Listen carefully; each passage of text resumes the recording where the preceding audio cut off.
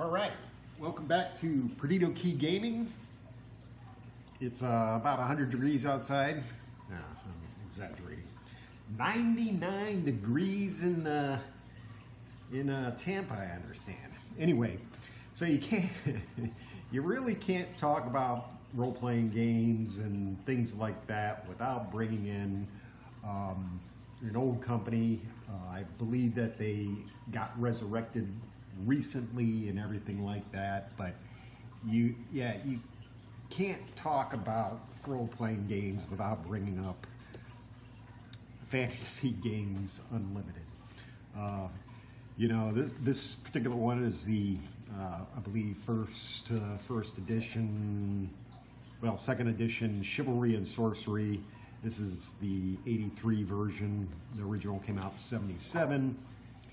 And, uh, but uh, they came out with several several role-playing games and being a little, you know, ASD myself, you know, I like rules and lists and stuff like that. And, you know, you, uh, in my opinion, you know, you should have a rule to cover everything. But, you know, I've kind of grown away from that with, uh, you know, gaming, you know, don't roll for everything.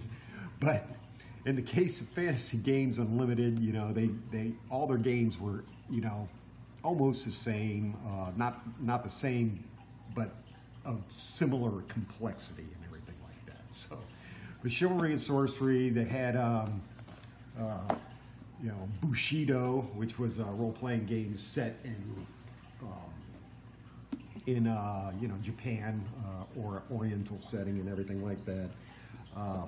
And of course, space opera. Um, there's a lot of stuff out there for space opera, um, and you know these pretty substantial rule books. Uh, fantasy game. They had uh, their superhero games uh, game Villains and Vigilantes. Um, revised rules. You know, uh, this is another part of the uh, chivalry and sorcery uh, set, along with you know source book um, for chivalry and sorcery. The other part of uh, you know uh, space opera there, and I can't. I was looking for it, but I couldn't find it. The Flashing Blades role-playing game. It's somewhere around here, but um, you know this one in particular was pretty much just um, straight up. There's no magic involved or anything like that. There's no magic. Uh, you know, obviously set in you know the style of the Three Musketeers and uh, the man uh, in the Iron Mask. Was that it? You know those those type of stories. You know, but chivalry. All of them were. All of them are really complex. the uh, you know uh, I don't know how to describe it, but chivalry and sorcery didn't have too much magic in it. Um, although they had you know swords and sorcery. Bushido, of course, had some magic in it. But the uh, character generation, and I mean, the print is tiny. Um, and, uh, you know, it's, uh, you know, there's, there's, uh, looks like hopefully a coffee stain. You know, there, everything um, was I mean, there was there was a rule for everything. So you get, uh, you know, your character generates his sign and, uh, you know, decides, you know, your you roll to see what your father was and how much money, you know, income you're gonna have and everything like that, and uh, you know how much you're gonna get paid being of a certain profession. Um, you know, there's just I mean, rules for everything. A height, you know, complex height generator.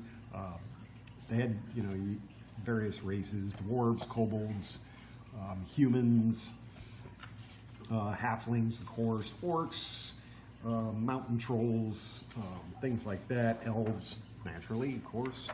Um, what would you do without elves?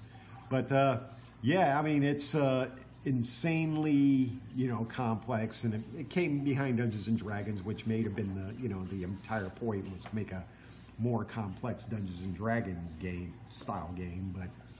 Um, when you had your simple ones, Tunnels and Trolls, Dungeons and Dragons, and then you know Chivalry and Sorcery was, uh, you know, pretty high end. Matter of fact, if you uh, when you went to generate a character, well, you better pack a lunch because you're going to be there all day.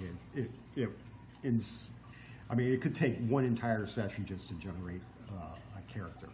Um, and it's kind of the same same thing with Rolemaster. I mean, you uh, you set aside one session for Rolemaster, Chivalry and Sorcery, uh, Bushido, or Space Opera, or Villains and Vigilantes, just to create a character because the the character creation system was, you know, extremely involved. So, you know, that's uh, what are you going to do? I mean, the the game's complex, you know. Uh, villains and vigilantes, of course, uh, you know, you had powers, and it wasn't uh, like uh, champions. Champions, you had a set number of points, and you would, or it's still around, so you have you have a set number of points, and you, you build your character around the points.